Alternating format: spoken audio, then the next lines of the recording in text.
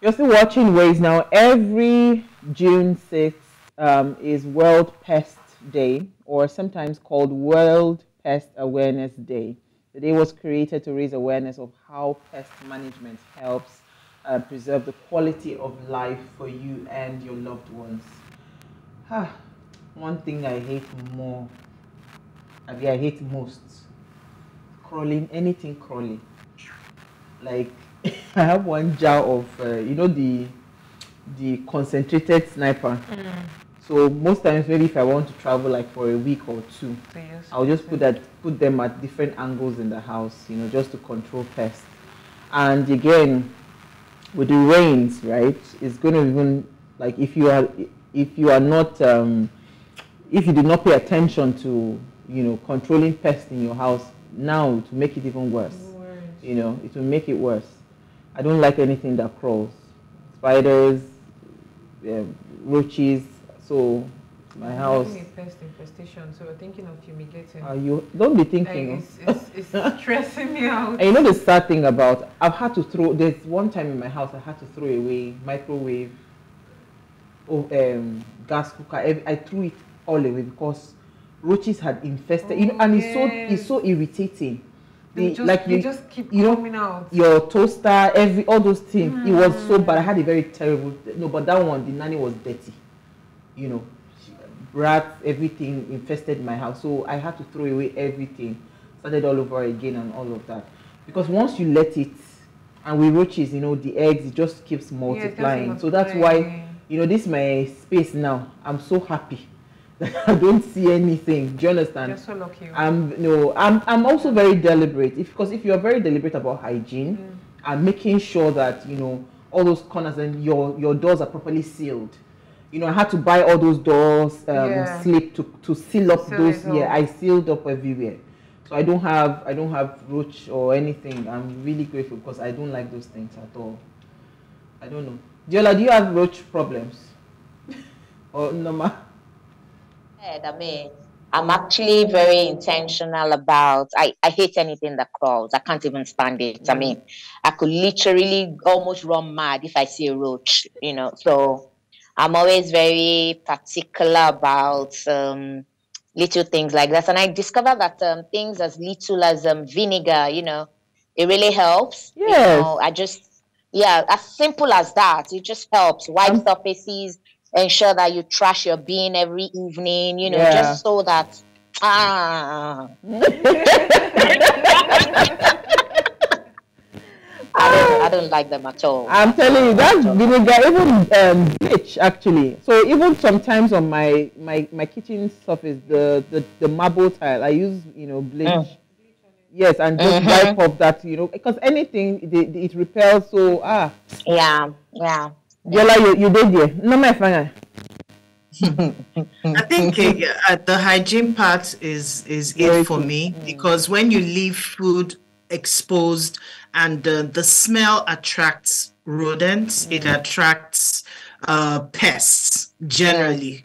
So hygiene is very very key when you want to um, deal with uh, pests apart from spraying because sometimes you find out the ones in Nigeria they don't it's like you're spraying perfume on them. They're like oh thank you right? And they're still all over the place. So you just have to make sure that your dustbins are well closed and if there there's uh, food waste there tie it up and take it outside so mm. some of those things can really, really help when you, especially when you also sealed some of the areas, access routes through which they come into the house. Mm, absolutely. Another thing again, if you have very dirty neighbors, God bless you.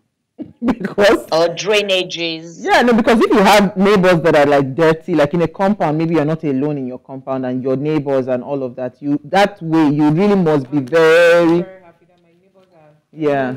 Yeah, you have to very careful. anybody that is there, on the street.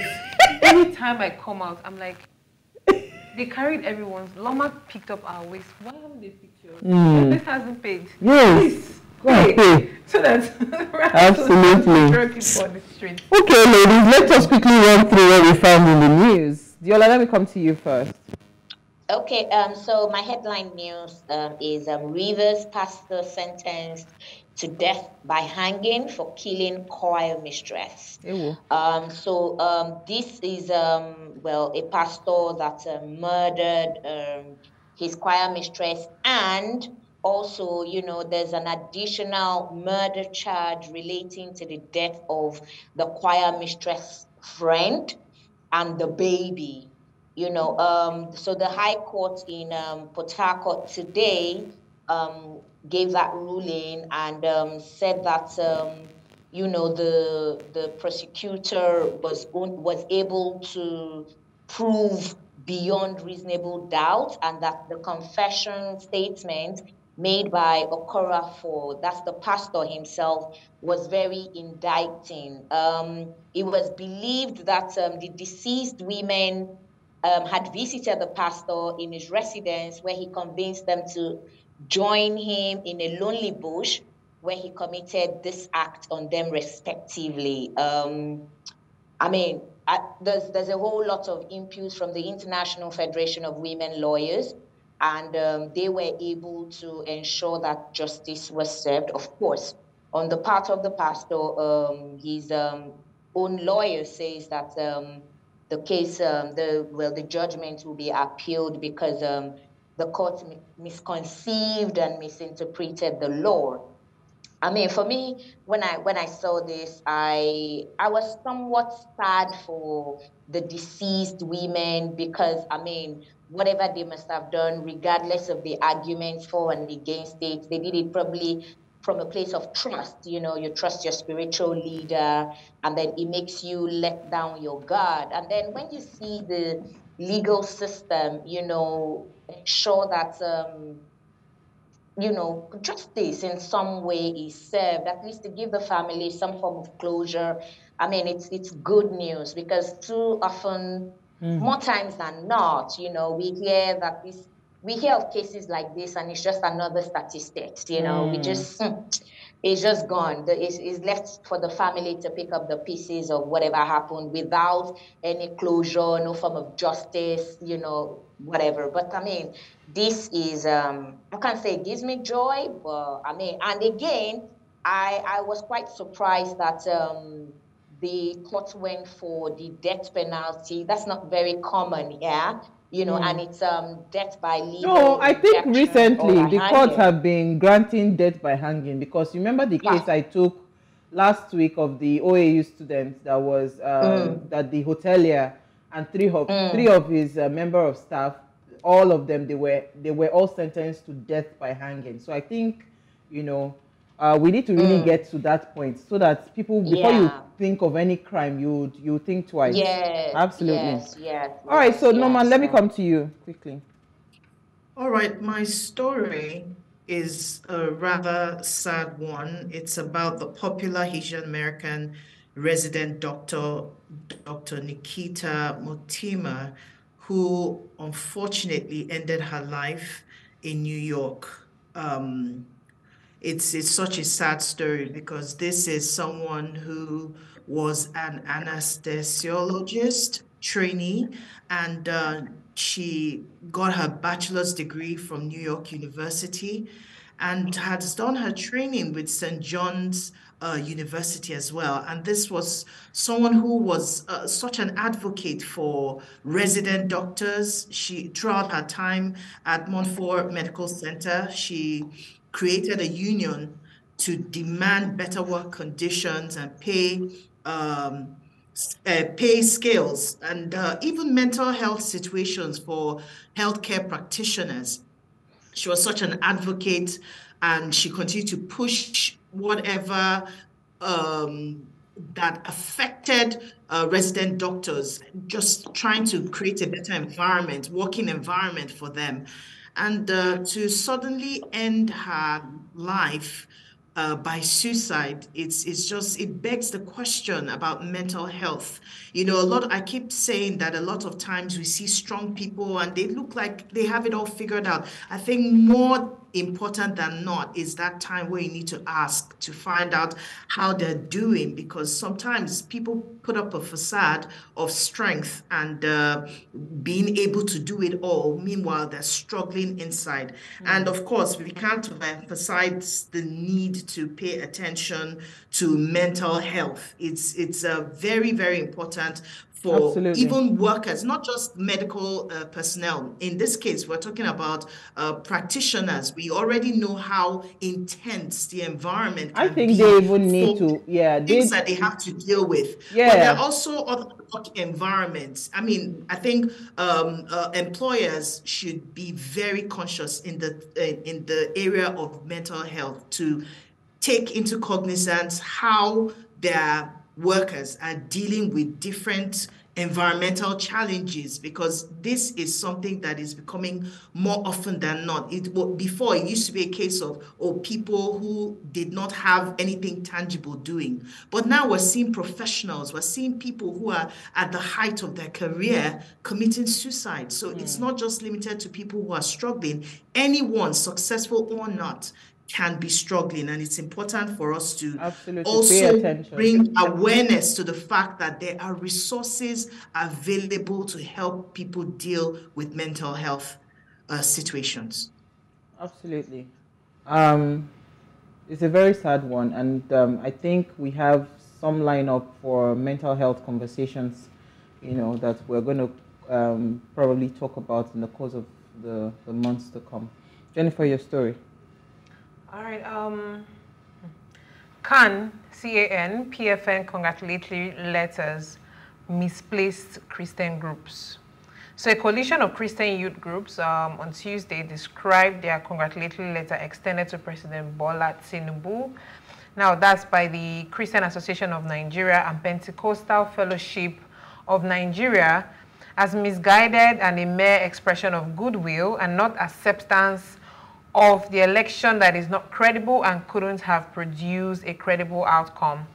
So they basically sent him a letter, um, expression of goodwill, but then they're also saying that it is not to, um, how, what word will I use now? It's not to say that they're accepting um, the, outcome. The, the, outcome of the election, or they are totally happy with the fact that he's the president. But then it's, you, I mean, you still have to congratulate the, respect, the, uh, respect the office. Absolutely. So that's basically the comment section is a mess.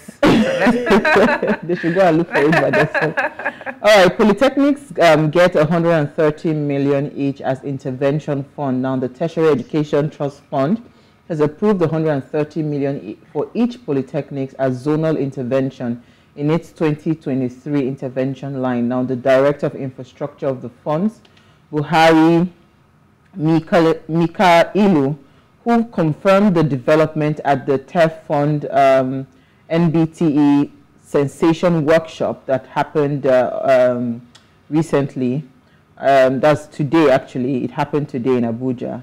The zonal intervention skill of, for rectors and directors of skill in beneficiary polytechnics so that this fund would be geared towards um, reinvigorating skills um, acquisition in polytechnics across the country. He said the intervention was to consolidate the efforts of the National Board of Technical Education in increasing the capacities of polytechnics to deliver on their mandates. So I just want to quickly say that a lot of problems that we have in Nigeria, right, if we had fantastic technical institutions, that's the polytechnics, there, there would be able to find solutions to some of the challenges that we have infrastructure-wise, right? Polytechnic is beyond just saying you want to move 130 million. How did they arrive at this amount, mm. right? This intervention amount. We can't keep doing things like that. We need to understand the importance of polytechnics. Some polytechnics in other parts of the world you can't even enter. It has to be the brightest minds that are admitted into those schools.